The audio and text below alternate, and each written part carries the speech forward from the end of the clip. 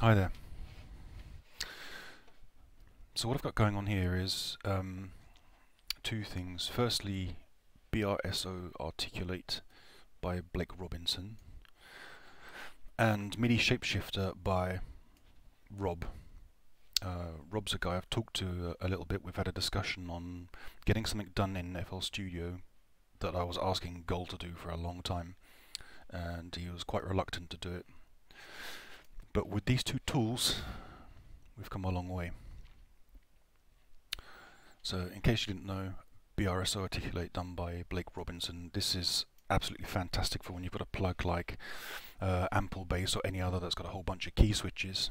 And what it, what it allows you to do is map different key switches to MIDI channels and what you can do is you can name them and give them note icons whatever you want to. But up here in the in the piano roll you can see that all of these different key switches which correlate to the key switches down here in ample bass are actually mapped to MIDI notes. So what I'm going to do first is play this loop. This is just a normal bass loop with ample bass. It's not doing anything special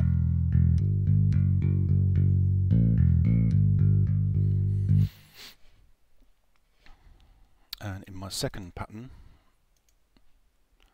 as you can see I've started placing notes that actually use the key switches so that sounds like this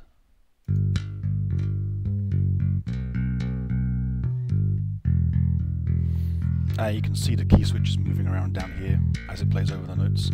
It's much better than having to go down here and place on C0, F0, all these notes. And I think if, if I'm right, Blake has described that what happens is is that one of the, when one of these notes gets played, it actually sends the key switch as the first MIDI event, so it's always on for the start of the note.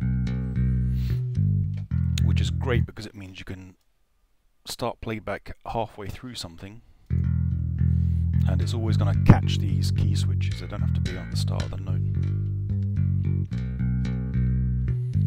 Now this is actually quite well known. Well, I'd say well known. It's not actually that well known, but anyone who's serious about using libraries has key switches, they should be looking into how uh, BRSO Articulate works. It's just absolutely amazing. Uh, there are so many settings and things you can do inside this plugin. It's if I if I recall Blake's word it's meant to replace the MIDI out of FL Studio, and he's used the SDK to develop it, so it's fairly well integrated. You can see that it comes with this little MIDI out plug right in the rack as well. So the special sauce is what I've been working on with Rob, and what I was working with Rob. Well, I looked across the internet for anything that would do what I wanted to do, and it's been years since I looked at anything and MIDI Shapeshifter looked like the right tool. So I got in touch with the developer, Rob, on his forum and said, this is what I want to do. Do you think MIDI Shapeshifter can do it? We had a few back and forths and eventually he came up with a few algorithms inside MIDI Shapeshifter which I've further developed on. And what I've actually done is I've hijacked uh, MIDI channels 13 to 16 to play different dynamic bend notes. So 13 is synced and does a the time period is 1 16th and uh, yeah you got 14 1 8th 15 1 quarter and 16 a half note and you can see that I've used BRSO to come and name them as well because what I've got going on here this chain in fact is firstly BRSO is contains the MIDI information. Uh, it's outporting on port 2, uh, which is sending that onto MIDI shapeshifter, which is outing it to 3, and of course 3 is what's being picked up by Ample Bass. So here's the final example. So this contains all of the articulations from Ample Bass, and all of these blue notes are the bends that I've actually programmed. And it's actually a fairly smart thing as well.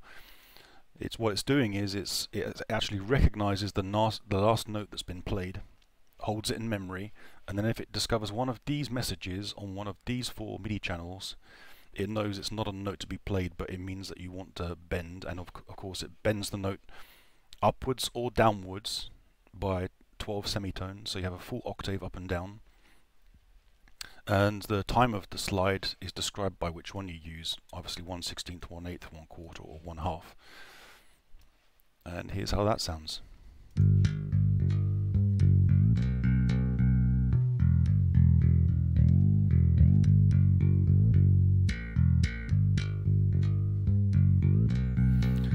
and here you can see all the MIDI data. Articulations being played, and you can also see the pitch bend wheel being manipulated by those slide notes on MIDI channels 13 to 16.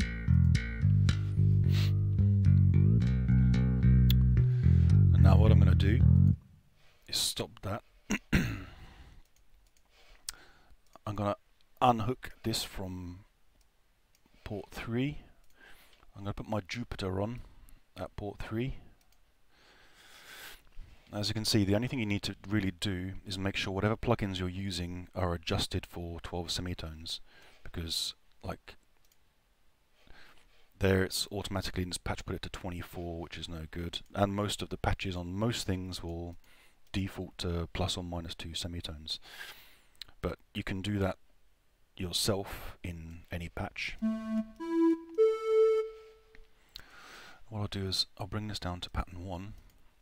Uh, this pattern I was just putting in to make sure that the the values that Rob, Rob has programmed in in MIDI Shapeshifter actually work out properly. So there's a whole bunch of test tones followed by slides to the same tones to make sure that it's shifting to the exact pitch that, that is asked for.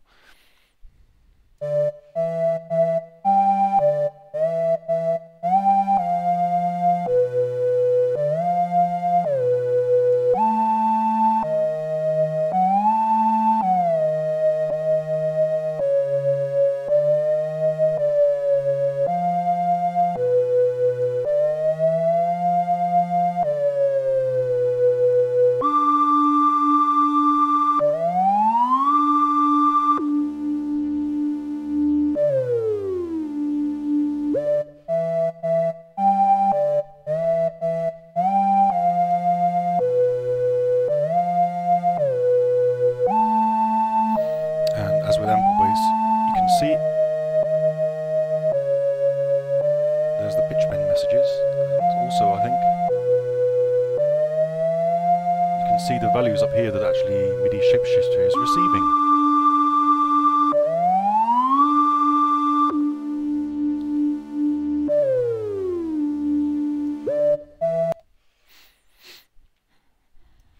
So that's it, there you go. BRSO plus MIDI shapeshifter. And this particular patch, which is in the hands of one person right now, me.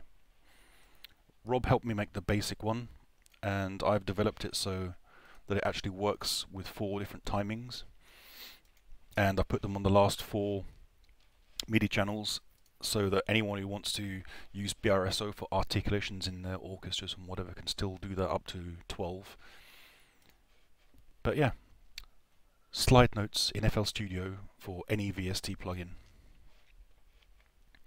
And um,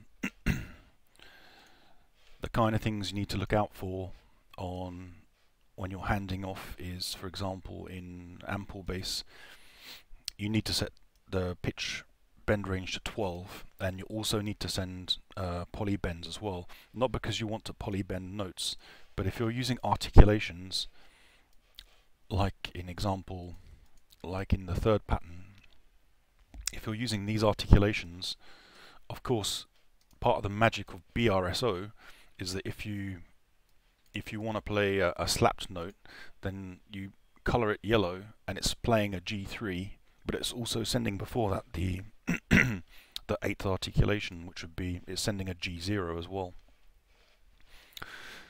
So if you don't put uh, that poly range in ample bass, then it, it might, and you try and play a bend on it, it might think that the last note that was sent was the the the key switch of C0 and it won't bend properly. Even then, it's still a bit, well, you know what.